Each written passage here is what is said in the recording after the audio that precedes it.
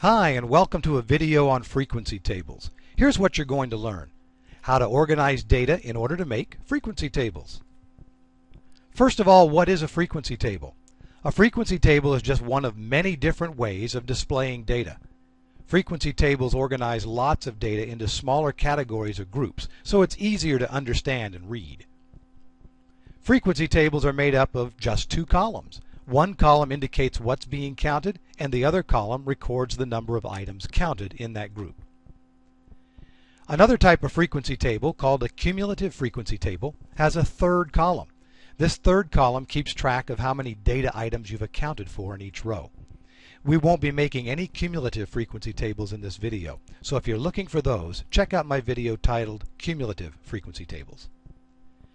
Let's take a look at a simple frequency table here. The very first column is what we're interested in counting, in this case, types of candy.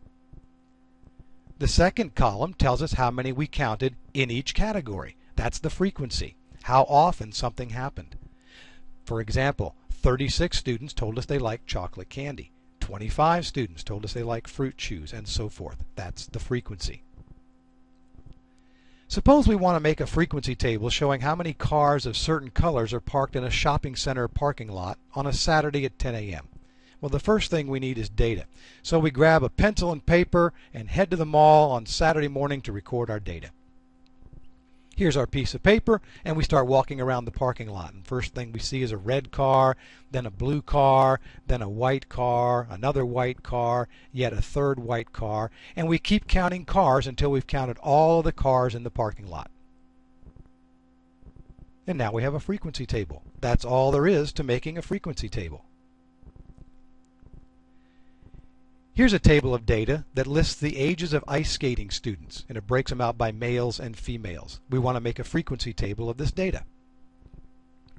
Since the directions don't specify how the data is to be sorted, we'll assume that the question wants us to combine all of the numbers into one frequency table, rather than making a separate table for the males and a frequency table for females.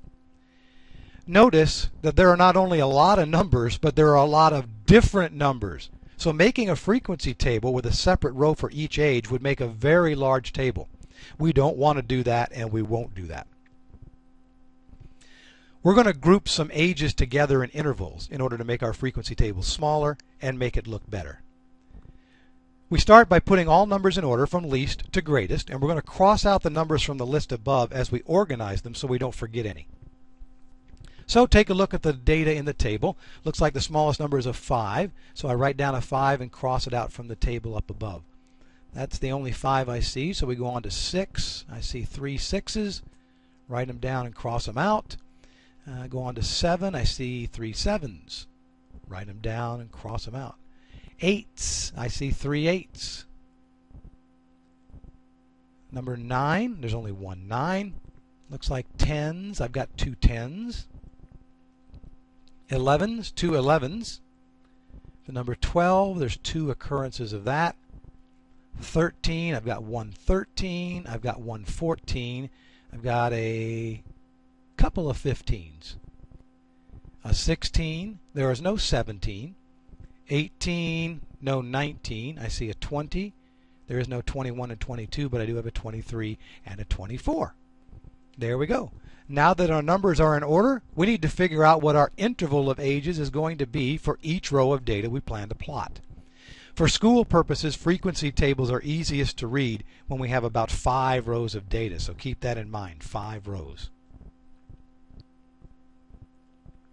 Now let's find the range of the data. Take the largest number, 24, the numbers are already in order, so it's the very last number on our list, and subtract the smallest, 5.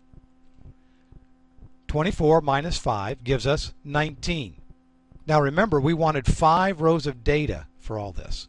So this information is going to help us determine the intervals to use in each row of our frequency table. We want the intervals to be equal from row to row. So if we want five rows, we're going to take the range 19 and divide it by 5. 19 divided by 5 is 3.8.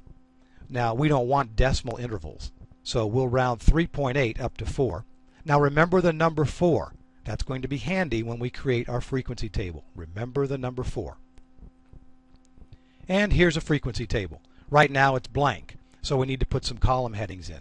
First of all, what are we counting? Well, remember, these are ages of ice skating students. So we'll put that in the first column. And the second column is how often each category occurs. That's the frequency. So we'll just call that frequency.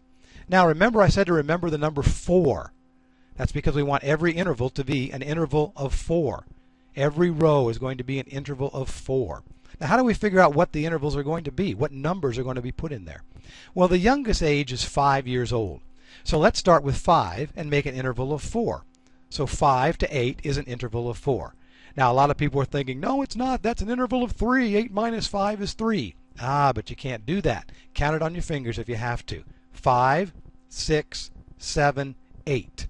That's four numbers, so that's an interval of 4. Now let's find our next interval of 4. Just add 4 to each of the numbers above. 5 plus 4 is 9, and 8 plus 4 is 12. So our next interval is 9 to 12.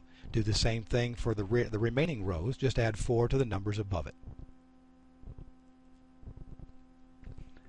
Now that we have our intervals or groups of ages, let's count how often they occur in the data. 5 to 8. I've circled them up above in the data. Those are all the ages between 5 and 8. So now let's count them. 1, 2, 3, 4, 5, 6, 7, 8, 9, 10. That's the frequency. 10 ages are between 5 and 8. Now let's see how many are between 9 and 12. Let's count them again. 1, 2, 3, 4, 5, 6, 7. That's the frequency of 9 to 12. See how many ages are between 13 and 16. 1, 2, 3, 4, 5. That's our frequency. How many are between 17 and 20? Just two numbers, 18 and 20. And how many ages are between 21 and 24? We have two ice skaters that are between that age range. Our frequency table is almost done. We've got to do one final thing. That's to add a title. Let's call it Ice Skating Student Ages. There you go. Once you've added the title, we're done. You've made a frequency table. Congratulations.